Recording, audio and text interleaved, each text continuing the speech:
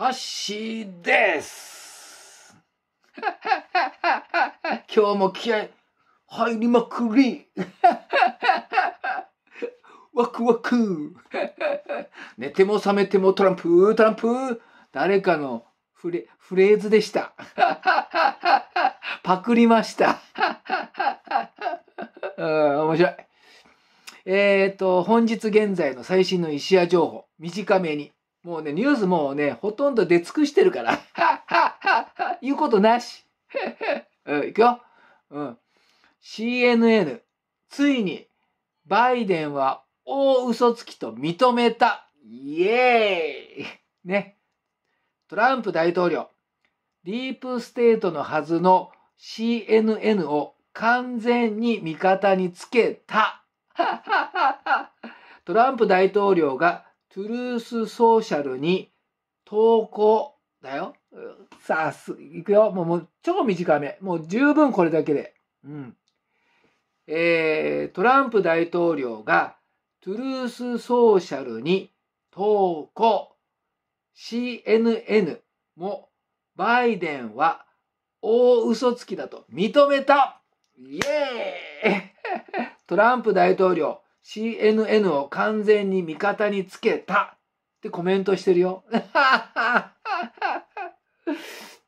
もう愉快だね。もうさ、この後いろいろ文章とかいろいろあるけど、もうこれでいいでしょ？これだけあれば。これで十分。もうね、あの、理屈抜き、もう直感直感。うん。もうね、これだけで十分、もうね、やったぜ、ベイビーって感じ。うん。おやったな。でも少し読まないと怒られっかな。うん。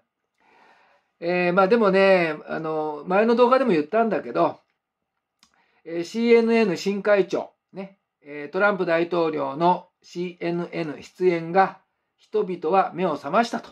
うん。アメリカ大統領ホニャララにどんな利害関係があったのか。特に不正ホニャララがあるのかを知ったと。うん、CNN は完全にホワイトハット側のメディアになったぞだよ。うん、全アメリカ国民が目覚めることになるでしょうと。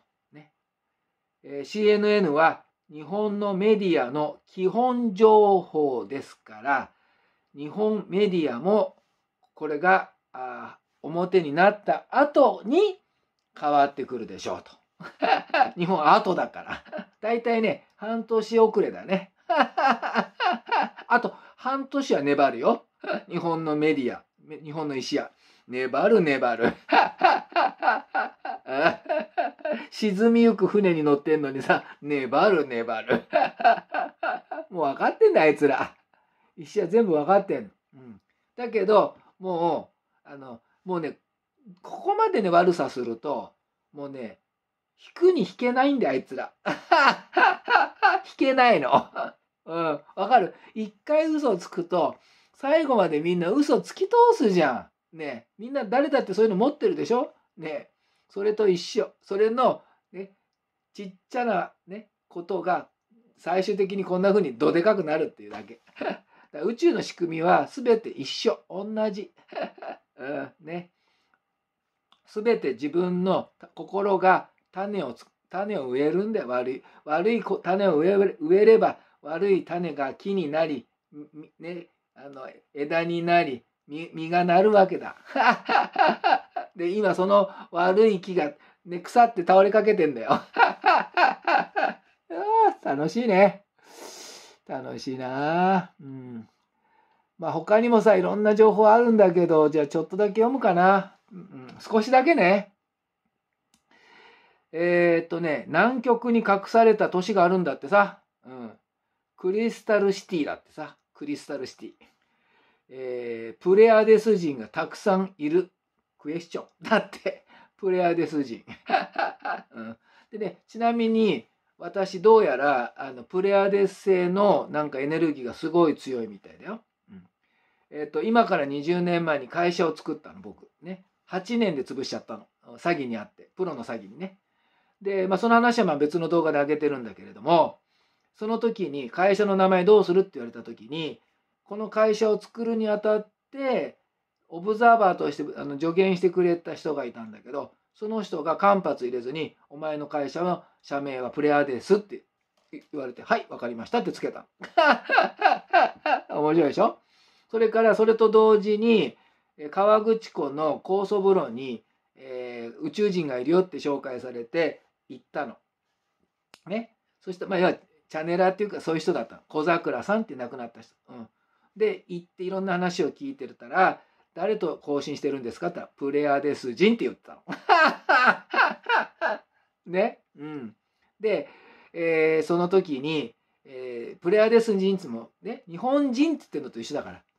日本人の中に橋本っていうのもいれば、田中っていうのもいて、いろんなプレアデス人がいるでしょ？それと同じで、プレアデス人の誰とお話ししてるんですか？誰からメッセージ受けてるんですかって聞いたら、セムヤーゼさんって言ったの。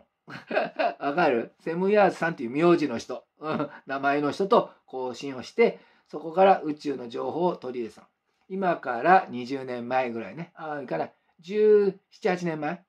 33で今57だから、24年前。24年前の、その後1年2年後だから、22年ぐらい前か。うん。にそういう話も聞いてた。で、その時にアセンションした地球は、こういう風な現象になるよって言ったの。それは都会中。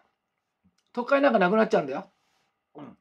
大自然、ハイジの世界で、ハイジの世界。草原のところに家があって、ね、人口がまばらで、ね、その移動手段は全部 UFO だよ、UFO。うん。自家用 UFO 使うんだよ。シュンっていくんだよ、一瞬で。うん。あ、スーパーに買い物、じゃあちょっと乗りましょう。ピッてボタン押すと、ピュッて、もう次の瞬間にはもうスーパーにいるんだよ。楽しいよ。うん。でも全員いけないよ、全員。魂を磨いた人間しかいけないんだからね。これだけ言っとくよ。うん。なんでこんなこと自信持っているかって？そりゃそうだよ。宇宙に教えてもらってんだから、神様に。ね？創造主に直接教えてもらってるんだよ。そんな間違いないよ。信じてもいいよ、信じなくてもいいよ。ということで、えー、最新の石屋情報、えー、一つ目終わります。ハッシーでした。イエーイ